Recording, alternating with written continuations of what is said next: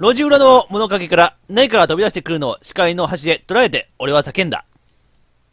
椿危ない見覚えのある顔がした男が、椿に突進していく。とっさに磨かれた椿と、その男の間に体を滑り込ませた俺の右腕に、鋭い、えっ、と、鈍い痛みが走った。ああナイフじゃん刃物じゃん刃物で腕を突き刺されたのだと理解するまで時間はかからなかった。刺された箇所から血が流れ落ちる感覚を覚える。不思議なことに、痛みはそれほどでもなかったが、それがかえって事態の深刻さを予感させた。お前は、まさか？間違いない。この路地裏で女の子を襲っていたあの男だ。逮捕されたんじゃなかったのか？タイミングが良すぎる噂をしてみればって、こんな噂をしてみればは嫌だった。お前みたいな奴が出てくるとは思わんかった、お前。あの人は今みたいなね、そういう企画やってるんじゃないんだよ、お前。プロデューサー椿の悲鳴が聞こえた。そこからのことは、よく覚えていない。激高した椿が、男を殴りと、え、蹴り飛ばしたところまでは見ていた。だから、きっと椿は無事だろうという確信だけはあった。ええここは天国か？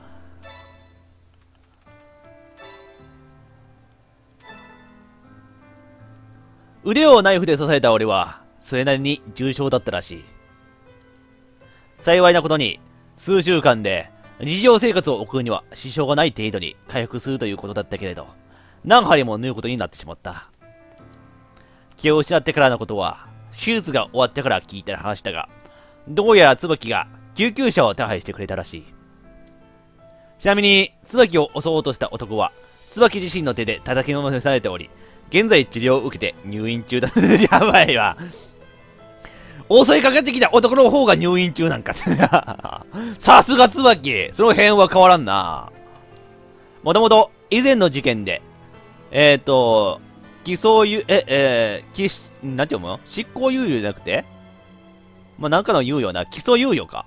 になっていた中での犯行だったようで、今回の一件で実刑を免れないこと、いうことだったら、それは良かったのだが、俺が負傷したことで大きく取り乱したのは椿だ。これまで何度もお世話になった警察署で、人目をはばからずに俺の心配をして泣きじゃくる彼女を見て、警官たちは驚いたと聞いている。はあ。だ、大丈夫？傷が痛むなら言ってよ。いや、そういうわけじゃないんだけど。そう。でも、お願いだから無理はしないで。安静にしてなきゃダメだから。でも、仕事しないといけないし、椿だってレッスンとかあるだろ？甘えてばかりってわけにはいかないって。いいから、プロデューサーはソファーの上で漫画読んでなってば。え、漫画好きのキャラクターこんな声出さんでいいからな、お前。くつろぎすぎだろ、お前。自分、それは事務所でくつろぎすぎだろ、お前、さすがにそれは。おい、いい、自宅じゃないやけどな、お前。数週間の入院を得て出社するようになったからというもの、椿はずっと転んだ調子だ。心配してくれるのは嬉しいんだけど、さすがに過保護すぎる。何かにつけて、おいの手伝いをしてきて、俺を働かせまいとするのだ。数日ほど休んだ影響で仕事が溜まっている。早く処理したいところなんだけどな。愛金まで、もう何週間もないですぞ。俺はもう平気だから、自分のために時間を作ってくれよ。口ごもる椿の態度に、俺は首を横に振る。どうしたんだよ？らしくないな。俺は無事だったし、犯人は椿が世話してくれたんだ。これで一件落着。そうだろ。責任感じとるんやな、椿ちゃん。やっぱりその責任感の強さは、変わらずやったな。椿はしばらく沈黙してから、ゆっくりと口を開いた。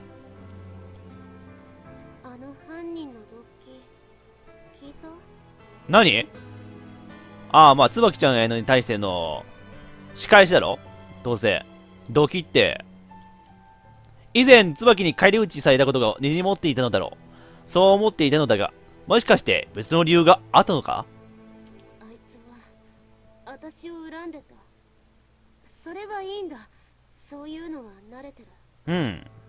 でも、あいつはそれだけじゃなかったんだ。アイドルファンだとかで、私が愛機に。知らねえよ！ちょっとボタン押しちゃった。間違えた。全部セリフ読ま読めんかった。すいませんね。だから私を狙ったんだ。神聖な愛金をお前みたいな不良が汚すな。お前なんかアイドルじゃないってさ。それ言うたらお前だってアイドル男じゃねえやなんだよ！そんな簡単に人にナイフ突きそうとするやつなんてアイドル男失格なんだよ人間として失格だな、その前に。よく考えたら、よく考えたらその前に人間として失格だな。その言葉に、俺はゾッとした。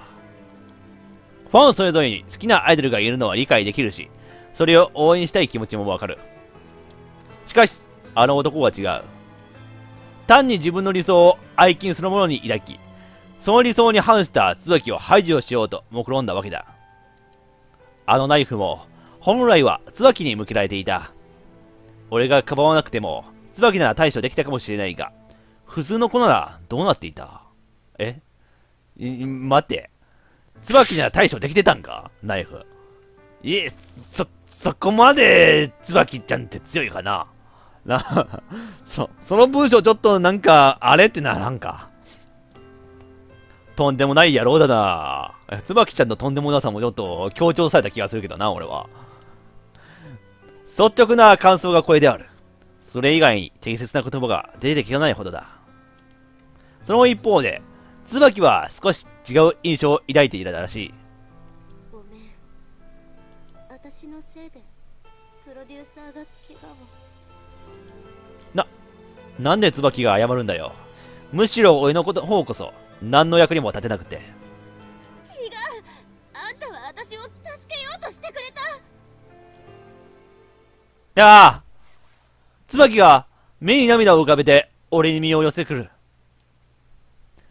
当然のことに、突然のことに動揺しかけた俺も、彼女の肩の震えを見せ、それどころではないと悟った。まさか、怯えているのか、椿？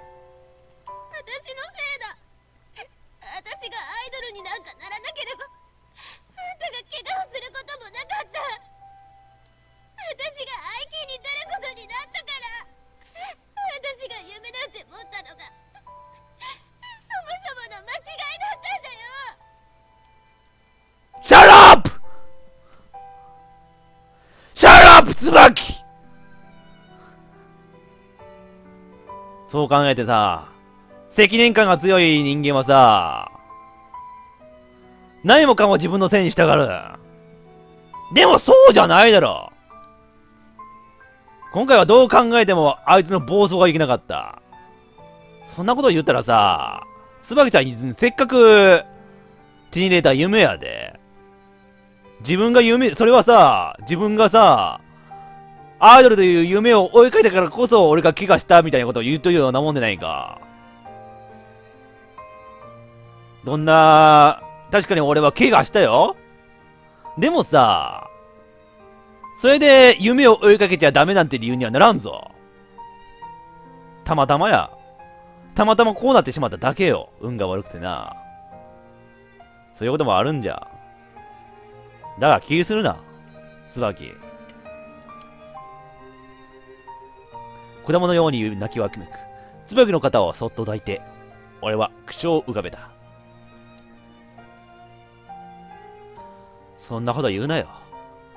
椿のせいなわけないだろ。椿と一緒だったから、俺は俺の夢に近づけたんだ。感謝してる。だから、アイドルにならない方が良かったなんて言わないでくれ。そんなの、悲しすぎるからさ。椿の方を流れる涙を拭うことはせず、ただ、彼女を抱きしめることで気持ちを伝える。せっかくさ、大手事務所の誘いをさ、弾いてやったんだ。俺に恥をかかせるなよ。きっと、俺の思いは彼女も分かってくれるだろう。だから、余計な言葉はいらない。温かな沈黙だけが、俺たちの間をそっと流れた。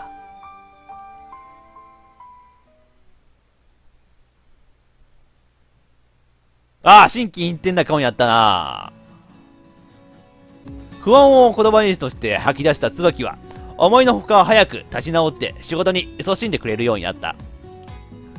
涙さえ浮かべて見せた彼女の姿は、俺が見た幻だったのかと思えてしまうほどに。よかった、立ち直ってくれたな。俺の劇が効いたな。確かに椿はうじうじと悩み続けるタイプではないけれど、それにしてもタフだな。だが、彼女のおかげで仕事ははかどり、夜が明ける頃には一通りの業務を片付けることができていた。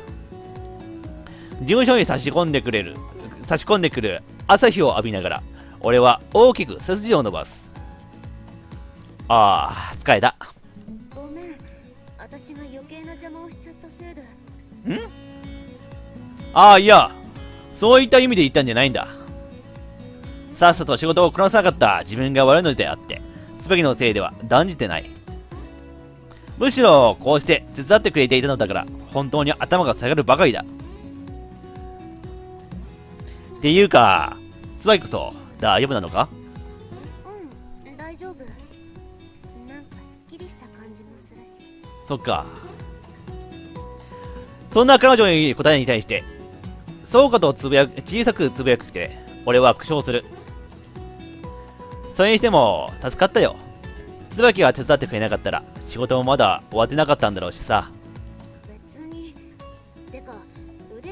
仕事してる方がおかしい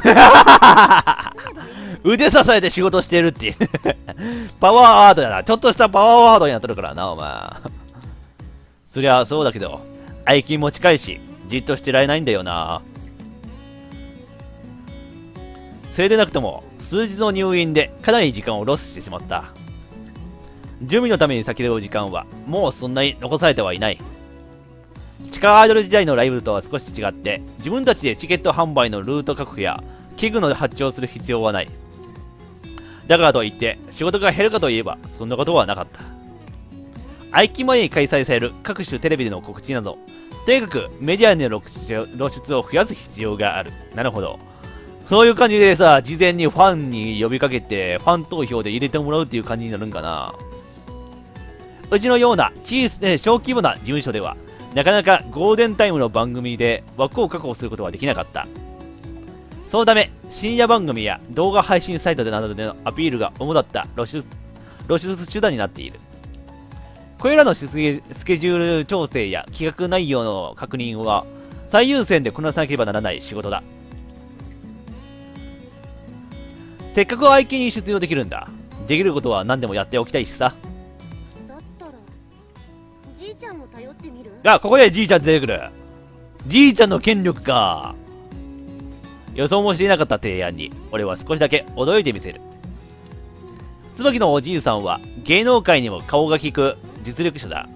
口利きをしてもらえればゴールデンタイムの番組にも出られるだろう。けれど、それはなしだ。椿のご家族を頼っちゃうと、それはもう俺たちの実力じゃなくなる。椿にとって家族の力を変えるというのは昔の彼女に戻るということに他ならない。かつての椿は親に夢を支配され結果として自分自身に価値を見出せなくなってしまった。今の椿が輝いているのは彼女自身が自分を誇れているからかだ。それを否定するような選択肢をするわけにはいけない。確かにな。自分で思って自分でこう行動できてるからこそさ今の、ね、椿がおるわけで今さら他の家族だとしても他の人に頼るわけにはいかんよな。そんな俺のきっぱりとした否定に対して椿は嬉しそうに表情を緩ませた。あんたならそう言ってくれると思った。もうそう言ってくれると思ったがたくさん来てるよお前。前からお前そう言ってくれるよな。もう俺と椿ちゃんの間ではもう通過の関係ですよ皆さん。なんだよ。試したのか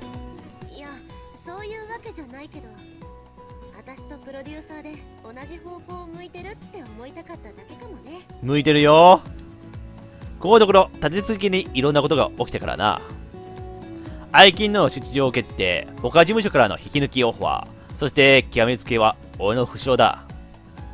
いかに椿といえども不安を覚えていたとしても無理はない。そしてその不安は俺も同じだった。愛金でもし椿がクイーンになったらどんな未来が待っているんだろうな。なんとなくそんなことをつぶやいてみる。特に深い意味はなかったが椿には少し気になる発言だったらしい。俺の顔を覗き込むように見て彼女は首を傾けた。それそう。プロデューサーはどうなってほしい？ん俺はそうだな。自分はこの先どういう未来を望んでいるのだろうか椿をトップアイドルにするという夢が叶ってしまったら次に俺が目標にするべきものは何だ？しばらく悩んでから俺はこう答えた。なんで答えるんだ？わあなんか重要そうだ！待って！俺これいつもさセーブしようと思ってなんか決定ボタン押してしまうよな。どれがセーブボタンだったかちょっときっちり確認しとこう。なんこれ。テキストのスピードのやつ。これやな。重要すぎるわこれ。絶対重要な選択肢だよこれ。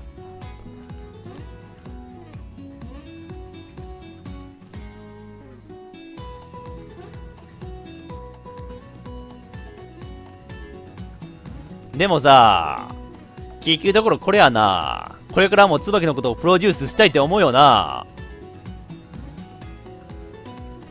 これからも椿をプロデュースしていきたいかな。もうさ椿ちゃん以外には考えられんのよ俺には。トップアイドルになったからって。そこが夢の果てってわけじゃないんだ。それからもまたきっといろいろやりたいことができてくる。その時に椿を支えてやれるプロデューサーでいたいんだよ。もちろんまだまだ力不足なところは否めないけれど。こう続けた俺に対して椿は笑った。あんたを信じて正解だったよ。やっぱり見る目があるな。私は。お前がかほほほ。ほんまに見る目あるんは俺やぞ。お前のことを見つけ出したんだからな。何のことだ？いや単に面白い人生になったなって思ってさ。そんなに思ってくれるんじゃはぐらかすようにそう答えてから。椿が何やらうなずく。未来か楽しみだよ。どんなことが待ってるんだろうね。前向きだな椿。あんたの影響さ私だけじゃこんな風には考えられないよ。うん。ありがとね。意外とそういうありがとうねって言ってくれること少なかったような気がするもんな短い言葉で社員を伝えてから椿がテキパキと短くを始める。どうやら時間らしい。あ椿俺も一緒に行くよ。今日は愛金の宣伝広告の写真撮影だった。俺がスケジュールを組んだからよく覚えている。しかし椿は俺を制止するように首を振った。大丈夫だって。私だけで平気平気。お前か。ははは俺が恨んでもヘマせんようにな。プロデューサーは退院したばっかなんだから家に帰って休んでおきなって。愛犬本番では期待するよ。と続けて事務所を出て行った椿を見送ってから俺は肩をすくめた。期待していると言われてしまったら答えたくなるじゃないか。今日のところは家に帰って休もうと決めて俺もまた事務所を出た。うんこういう日があってもええのや休む日があってもおなんだこれ？ああ本番来た本番来たよみんなレディーズエンドジェントルマンついに始まりました第34回アイズキンドム !34 回もやってんのか。34回も歴史があるんか、これ。うん、誰か思わんかったんかな？その34回やっていくうちにさ、アイドルキングダムって結構ダサい名前じゃねえって。思わんかったんかな 何が略してアイキンだよって。ドリッキンみたいな感じになってるから。ドリッキン、土屋圭一やん。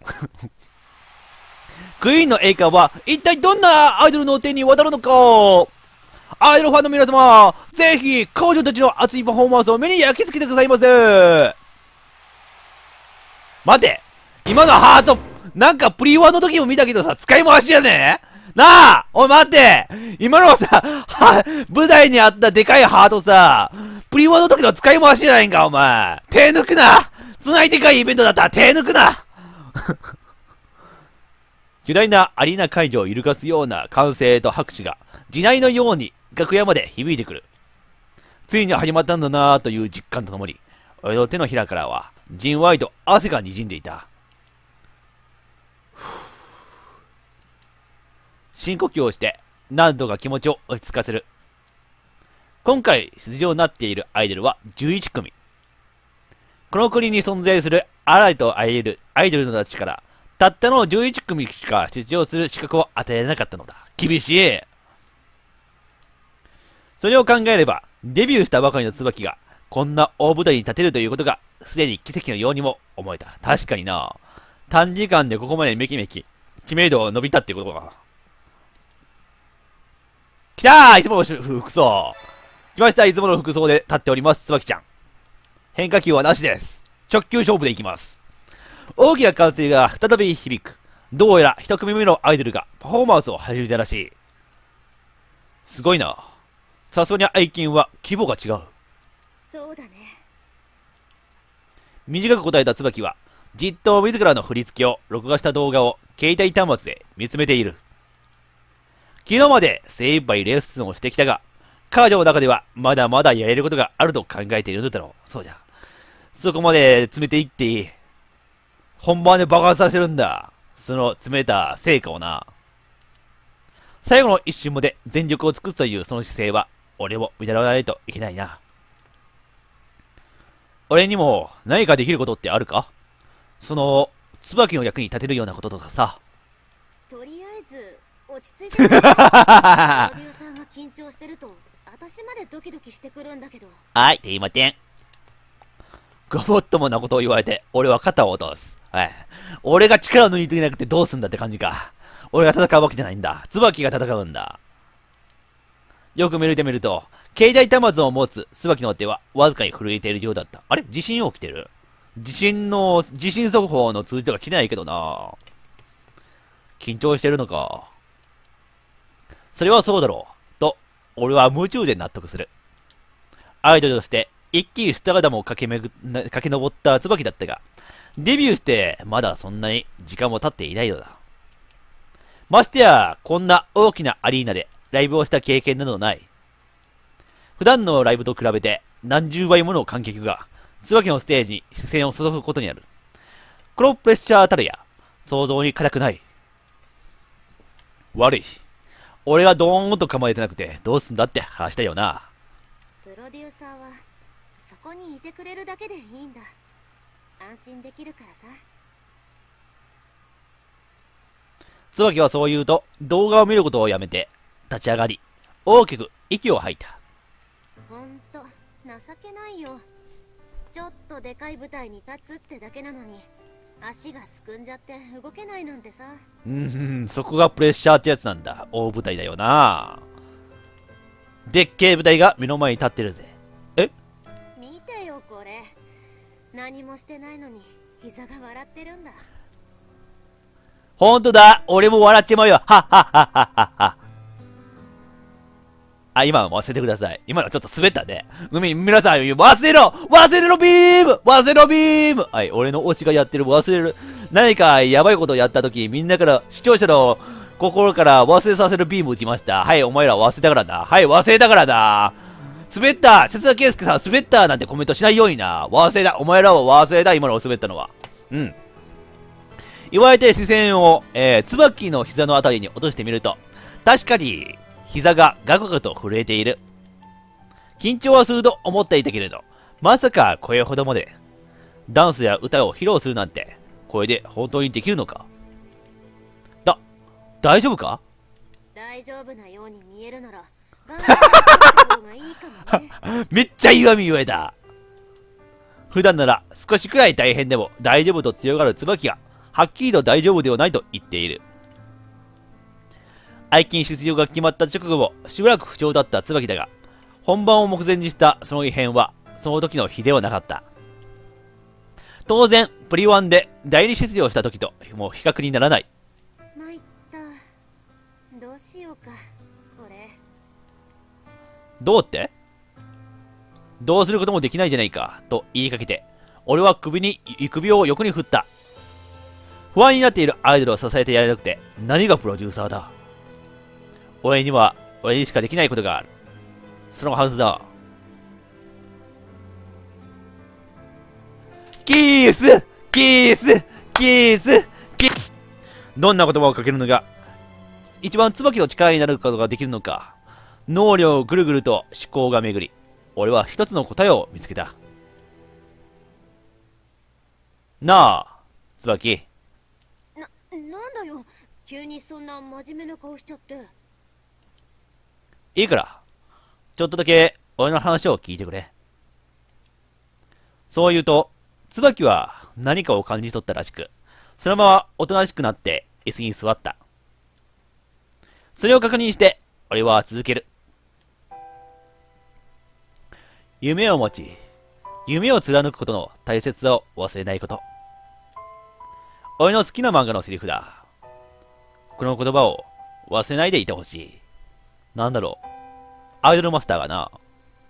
どういうこと？首を傾ける椿に、俺は自分にできる精一杯の笑みを浮かべて答えた。椿がさ、最初は夢なんてくだらないって言ってただろじゃあ、実際にアイドルのてっぺんを取るって夢を持って走り始めてから、今日までどうだった？きっと、椿にしかわからない苦労もあっただろう。だが、それ以上に大きな喜びとやりがいがあったはずだと、俺は信じている。だからこそ、こんな問いかけができたのだ。椿は、それにしばらく答えを迷ってから、肩をすくめながらつぶやいた。楽しかったかなプロデューサーと一緒に営業行ったりライブやったりレッスンしたり全部楽しかった楽しめてやれよったんやな。だろ？うなずいた俺は、おそらく、これでもかというぐらいのドヤ顔を披露したことだろう。うん、殴られたいと思う。この笑顔を殴りたいって思った人がたくさんおっただろう。上げたように笑みを浮かべた椿からも、それを察する。俺たちは、同じ夢で繋がった仲間だ。ステージの上では一人かもしれないけど、俺は以前も椿を支えてる。そうだね。それは感じるよ。プロデューサーのおかげでつまらない日々から抜け出せたんだ。アイドルになってからそれからもずっと。私はあんたに甘えてた。ずっと支えてくれたこと感謝してる。うん。感謝するのは俺の方だとは、今は言わない。言う必要がないと思った。椿には、俺の気持ちがしっかりと伝わっているはずだ。だから、俺が口にしたのは別の言葉だった。夢を持つようになって、今日まで必死でやってきた。重ねてきた努力の総量だと、他の長くアイドルやっている子たちには勝てないかもしれない。けど、密度は誰にも引きを取れないはずだ。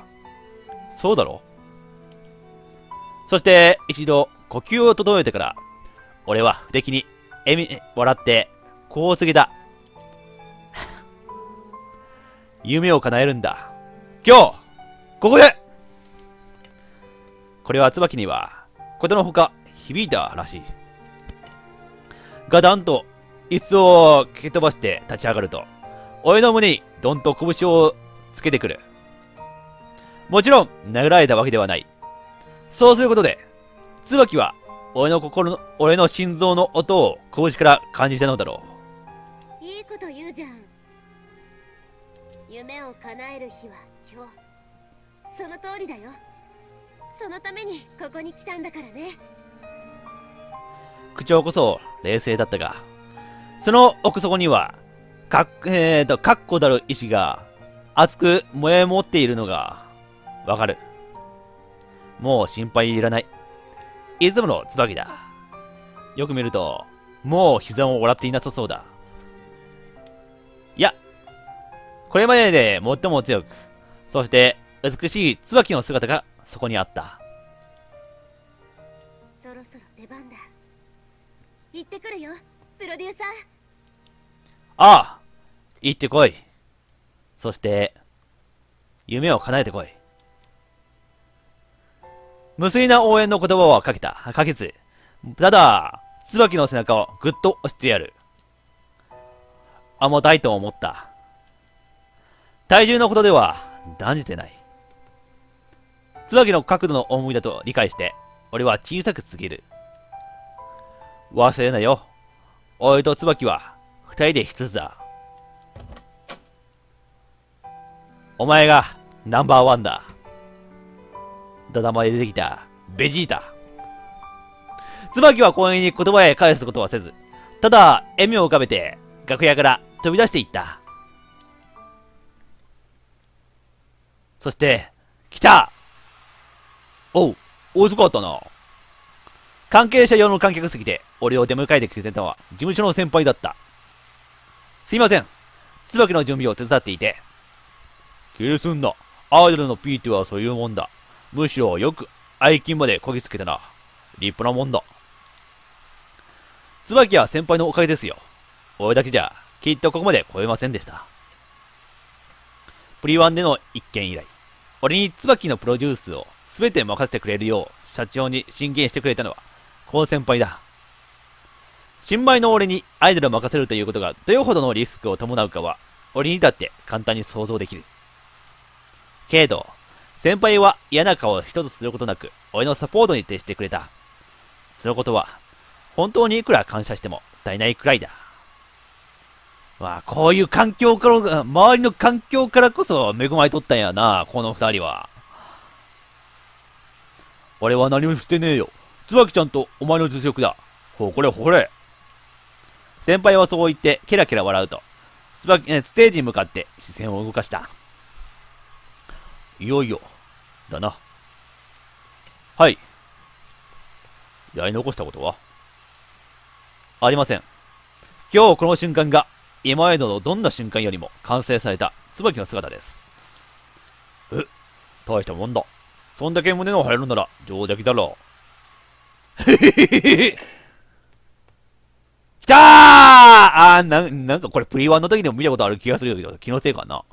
あな、な、もうほんまさ、あのー、真ん中のでかいハードがプリワンの時の使い回しのせいでさ、なんかプリワンの時のさ、ダブって見えるんよな。ほんまにこれ、プリワンとは違う大会なんかなって思う時はあるんやけどな。うん。せめて真ん中のハード別のもんにできんかったか？なあ、たまごっち、でかいたまごっち。うん、そこで、ふっと会場の照明が落ちる。静まり返る会場。誰もが次に登場するアイドルに期待を寄せている。テレビやパソコンの前で視聴している全国のファンもきっと同じ気持ちだろう。どんなアイドルが、どんなパフォーマンスをするのか。そんなことを考えてるに違いない。見せつけてやれ、椿。お前の夢を。俺のつぶやきとともに、アリーナの照明が一斉にステージを照らした。セットリストは数曲だったが、椿の存在感は圧倒的だった。ほんまよ、この圧倒的な感じ。客席、おー、すごいでかいなー。あと、このアングルはエロいなだってパンツ見えてるんだもん。もうそろそろ、ズバキちゃんのパンツ見慣れて興奮しなくなってきたけどね。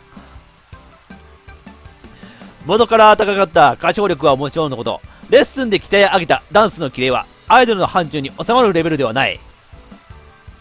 アイドルでありながら、バク転などを披露するアグレッシブなステージに、観客の視線は釘付きだった。いけー椿ちゃん先輩の声援を横で聞きながら、俺はにゃいと笑みを浮かべる。気持ち悪いですよ、先輩。これだけで終わるわけがない。椿の真骨頂はその先にあるのだ。導入の曲を歌い終えた椿は、マイクを片手に、こんなパフォーマンスを披露する。みんな、聞いてくれてありがとな。けど、こっから本番だ。いいか？しっかりついてこいよわー、この顔である。ヤンキー区長ではあったが、これが会場の熱気に火をつけた。わっと盛り上がる関係者たちのテンションを引き連れて次の曲はアイドルらしからぬロックな曲を披露してみせる。椿を知らなかったアイドルファンたちの衝撃が伝わってくるようで俺は嬉しくなる。そして最後の曲に椿が選んだのは。これは私が夢を追いかけるきっかけになった歌だ。ん？この曲がなかったらきっと私はアイドルになってなかった。そんな曲あった？だからこの曲をみんなにも届けたいって思ったんだ。なんだ？そんなマイクパフォーマンスを得て歌い始めたのは耳に馴染んだものだったのだ。あーこの時の曲か！これは初めて会った時に椿が猫に餌をやりながら口ずさんでいたあの曲だ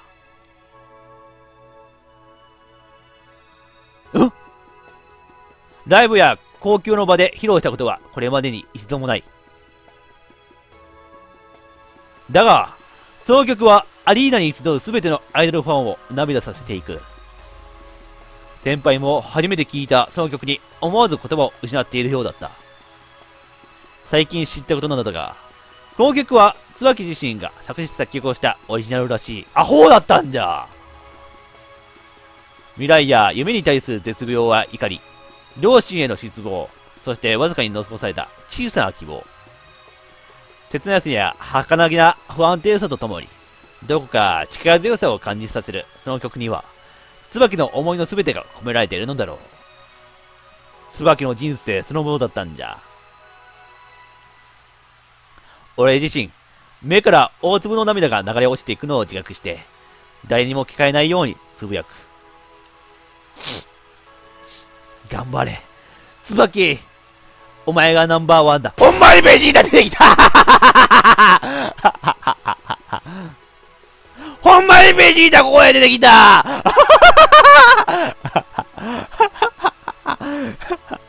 前、前、これ、A ボタンを押したらさ、某有名バトル漫画のライバルのキャラクターのセリフみたいなこと出てくるんかなこれ。いや、ガチだよ、こんな土壇場へベジータほんまに出てくると思わんかったぞ、お前。ああ 世界最大の名作漫画の総名言は ドラゴンボールだどう考えてもドラゴンボールだ、これ椿の歌声に流されて消えた。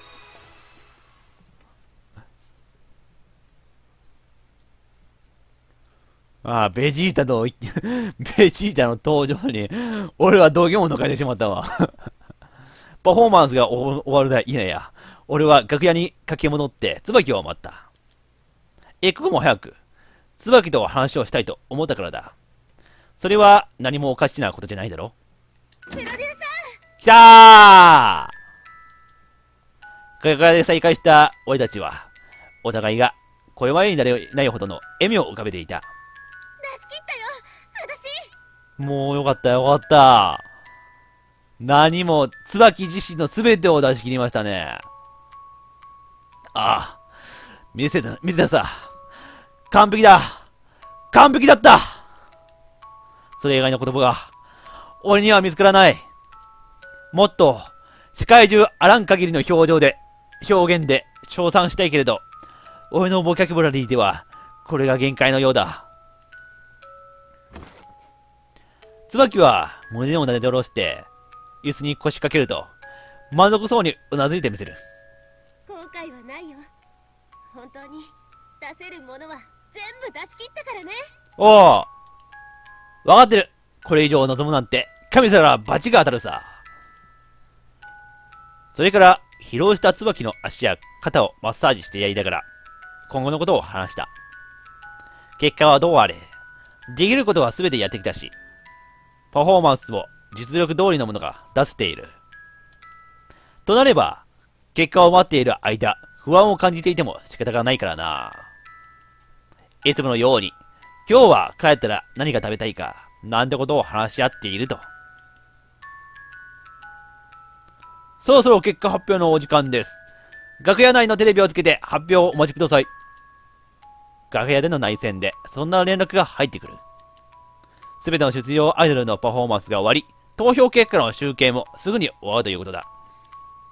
MC による発表が終わり次第、全アイドルが再度ステージの上に集まって表彰式を行う流れになっている。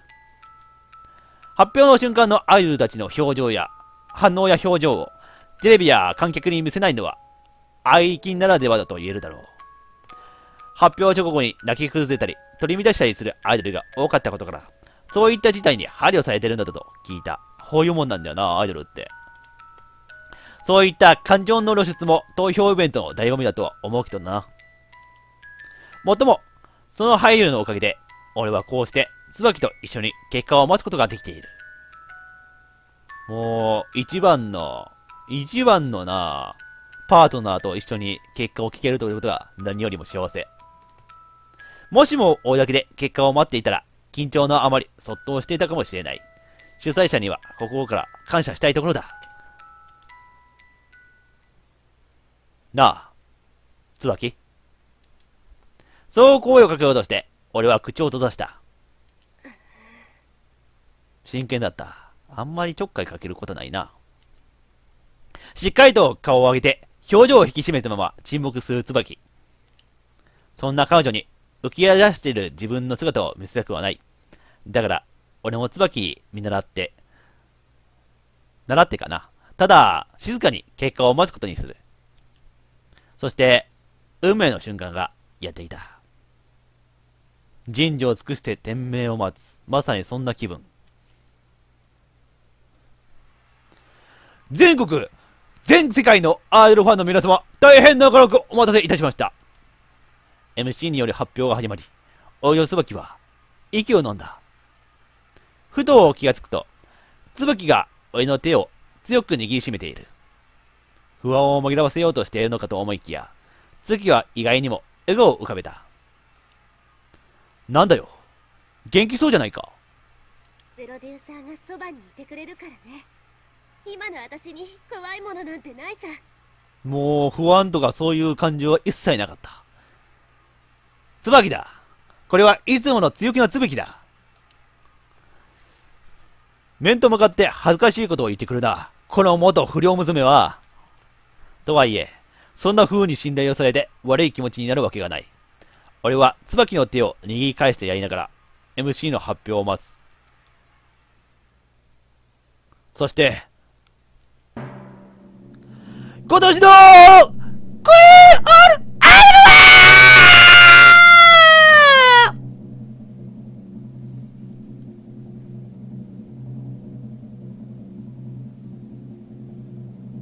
ドキドキ、ドキドキ、ドキドキ、ドキドキ、ドキドキ、ドキドキ、ドキドキ、ドキドキ、ドキドキ。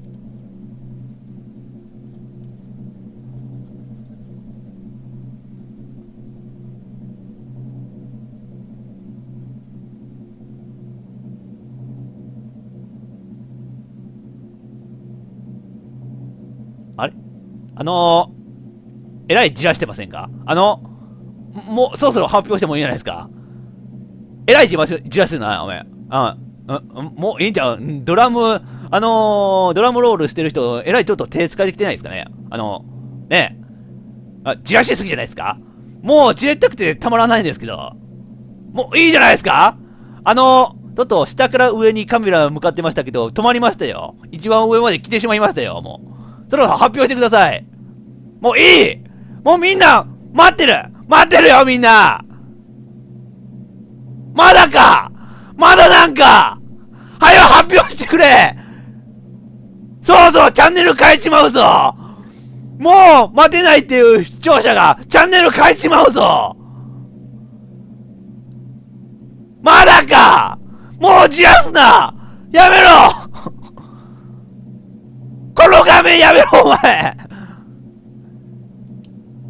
呼吸が止まるかのような緊張が走る。いよいよだ。いよいよ、すべてが決まる。な、な、な、な、なんとデビュー1年目にして、スターダム駆け上がったシンデレラガール新生アイドル、つばき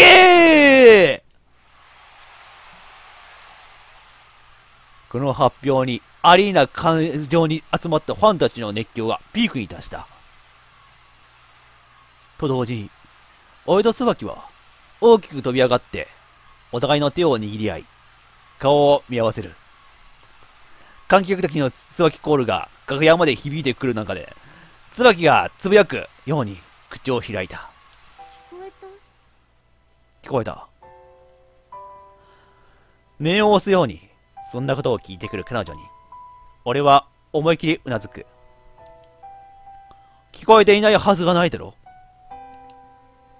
ああ。クイーンだ。アイキンの頂点だそうさ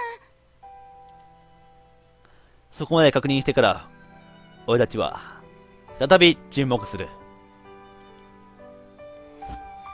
そして、お互いに笑みを浮かべながら、体を寄せ合った。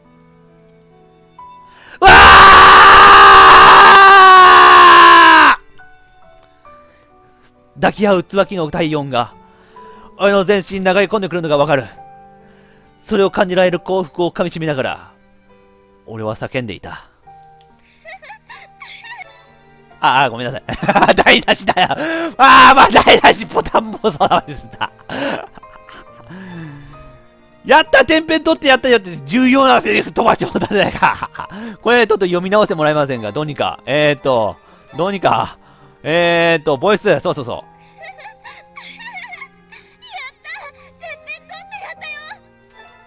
わかった。やっぱり、俺のメニューを食いなかったんだ。椿はやっぱり最高のアイドルだ。初めて出会った時に感じた感覚は正しかった。椿なら絶対トップアイドルになれる。そう信じて、ここまで頑張ってきた怒りがあるというものだ。ありがとうな、椿。お前のおかげで、俺も夢を叶えることができ。んあカシャカシャカシャカシャカシャカシャカシャカシャカシャはいはいパパラッチパパラッチはいはいはいはいスキャンダルですねスキャンダルですねフライデーですねこれは。そこまで言ったところで俺の言葉は不意に中断を余儀なくされた。抱きしめ合っていた椿の顔が俺の目の前にある。いやそれだけじゃない。これはもしかして俺キスされてるのか？柔らかな唇の感触と甘い彼女の呼吸音だけど感じるようになってきて俺は目をぐっと見開いた。いやなんでこんなにパンツ丸見えな？おかしいおかしいおかしい！だからってなんでこんな感 感動的な場面でもこんなパンツ丸見えにしてくるんや？そこは抑えようよ感動的な場面でしょつ、椿？まあ、感動的な場面でこのパンツを丸見えにしやがって。これなんかで隠しとかなあかんな。ダメだ隠してた隠してたよ絶対おかしいわ、これあ、ダメダメ隠さん方がまだマシ。マシなかもしれない。あ、しょうがないわ。慌てて唇を引き離した俺に対して、椿はなんだか嬉しそうな表情でこちらを見つめている。せっかくトップアイドルになれたってのにこれじゃあ私アイドル失格だねバカ野郎そんなことをつぶやく彼女に、俺は一瞬言葉を失う。アイドルとして、プロデューサーとしてのあり方。そんな線引きが消えて、俺の中に残ったのはシンプルな答えだった。言っちゃうのか？言っちゃうのか？私は嫌い？そう問いかけてくる彼女に、返す言葉の選択肢なんてない。いや、好きだ。言っちゃったーはっきりと告げる。アイドルとプロデューサー、決して結ばれてはいけない思いを、俺たちは前からお互いに自覚し合っていた。それでも、俺が一線を越すに、越えずにいられたのは、立場を気にしていたからに他ならない。だけど、それも今日で終わりだ。たとえ世間が許せなくても、俺は椿を愛している。その気持ちに、これ、もうこれ以上、嘘をつくことはできそうにない。やっと言ってくれたじゃんずっと待ってたんだけどな待たせたな。ずっと？いつからだと問いかけるのは野暮だろう。俺は、かん、かん、え？うん、を落として別の言葉を続ける。辛いこそ、本当に俺なんかでいいのか？あんた以外の誰を好きになるってのさ。この私が。桜井翔とか？まアイドルとしてはダメだろうけどねプリワンから逃げたこと大差ないよ あ、おったなそんなやつおったな 掘り返すな 他人の黒歴史を掘り返すなそんなことないさ。椿の自覚めいた言葉を否定して、俺は首を横に振る。椿は自分にできる努力をして夢を掴んだんだ。それから先のことは、椿自身が決めればいい。努力の結果を待たず、ただ逃げたあのアイドルのことは違う。椿は自分の努力と向き合い、自分の夢と向き合って結果を残すことができたのだ。そんな彼女を非難するような奴がいたら、俺は許さない。そんなことを考えてしまう俺の方こそ、プロデューサー失格かもしれないな。プロデューサーというよりはさ、ベストパートナーだったな。いいんじゃないかな。こういう時くらい。椿の率直な気持ちに従えばいいんだ。誰にでもその権利がある。私の正直な気持ちかうん。しばらく悩んでいた椿だったが、ふと思いついたように首を傾ける。それ何の漫画のセリフ？多分、そろそろオリジナルだろう。声に俺は苦笑を浮かべる。いや、俺の言葉だよ。やっぱり罪に置けねえな最後の最後で自分の言葉で話してくれたな、切な圭介。そして、今度は俺から、椿の唇に自分のそれを重ねる。ヒューどんな名台詞でも、これを口づけには叶わないだろう。そんな確信とともに、俺は椿の体を強く抱きしめた。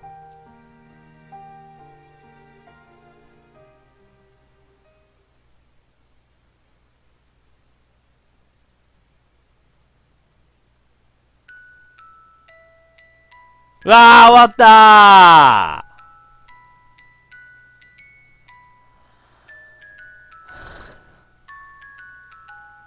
アイドルデイズ。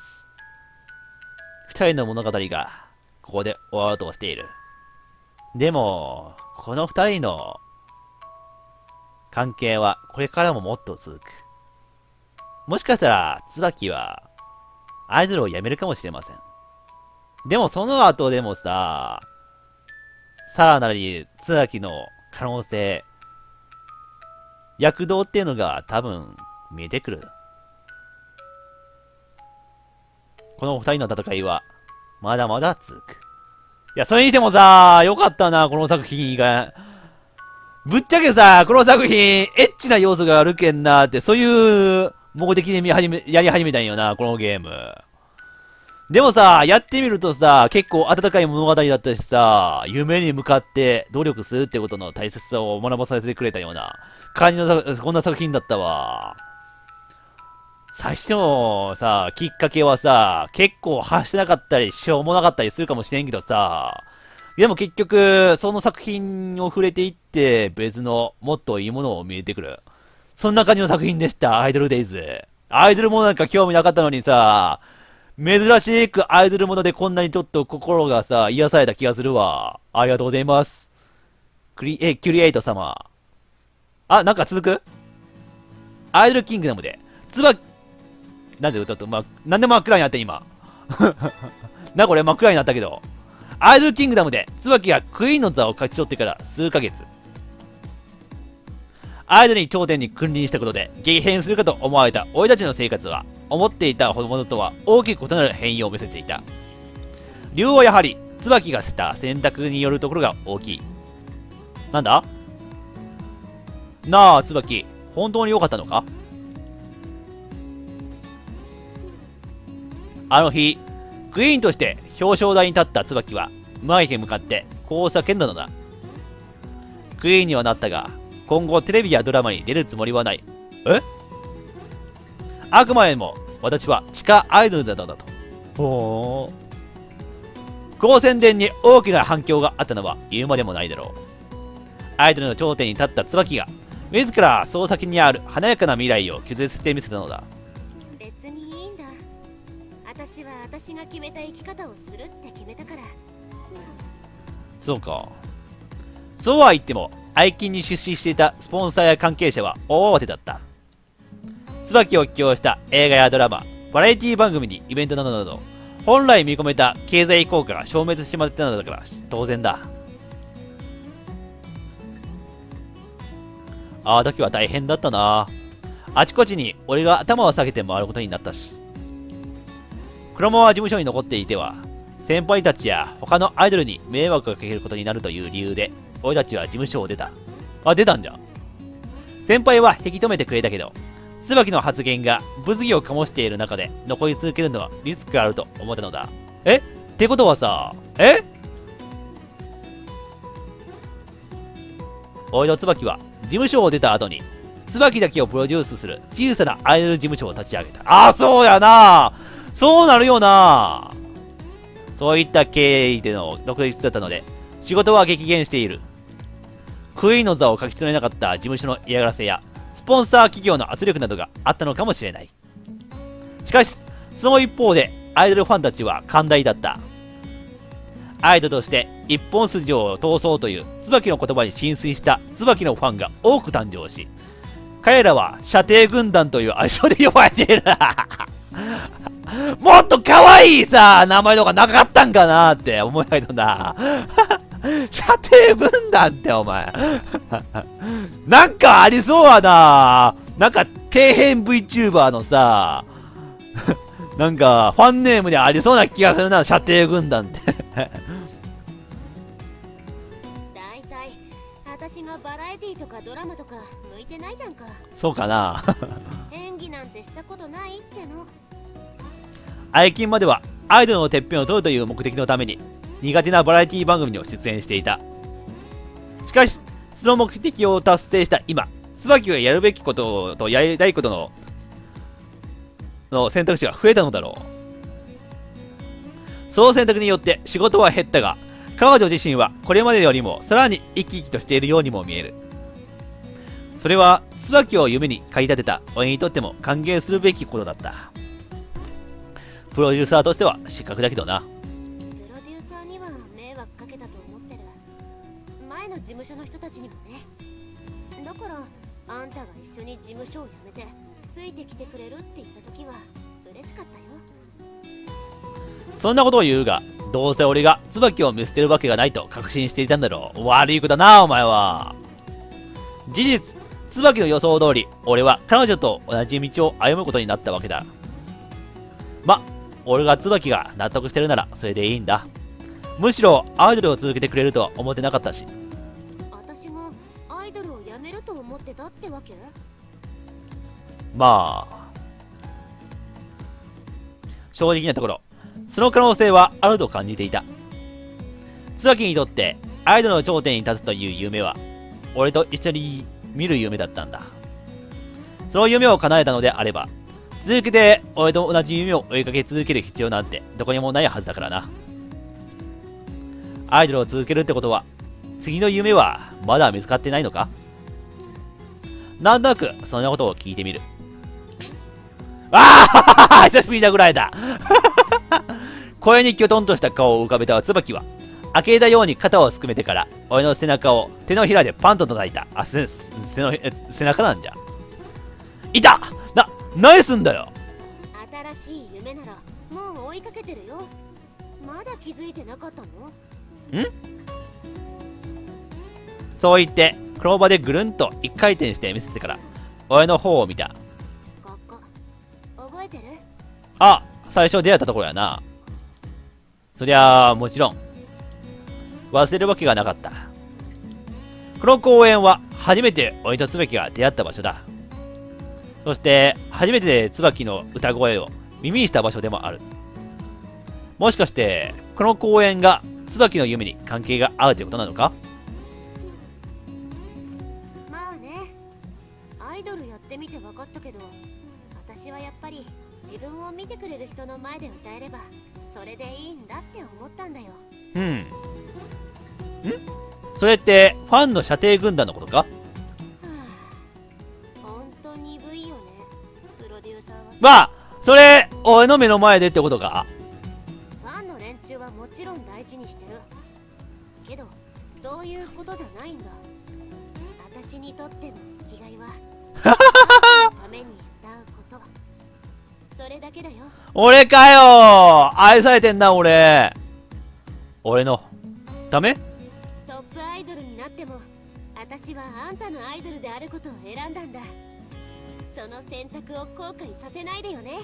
プロデューサー。わあ重たい仕事を、の、重たい、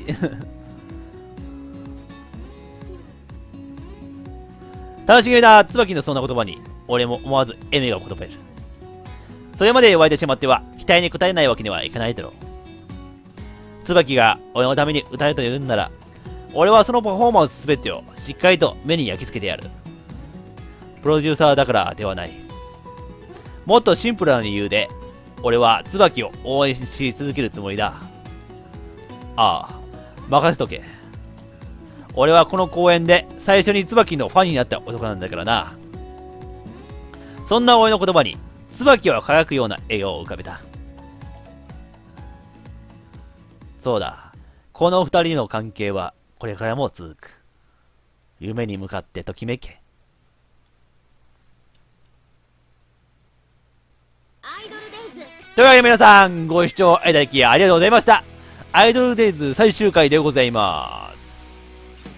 えー、まあこんな感じで、エッチだったんでね、結構ね、このゲームに対して見ることを抵抗した人もおるかと思うんです。てか、俺がさ、サムネ結構ドエロいシーンカットしたと思うんやけどさ、そのエロを見たさにこの動画を見てくださった人、もしくは、こんなエロい動画見たくないよってことで敬遠した人も、まあ、様々おると思うんですけどさ、結局のところさ、この、夢に向かって、向かっていく二人の姿を見れるっていう、ここ温かい物語だと思うんですよ、このゲーム。うん。だからさ、ちょっとエロかったりするかもしれんけどさ、ちょっとそういうところを、このゲーム、いい作品やなって思ってくれて、ここまで見てくださった方は、本当にありがとうございました。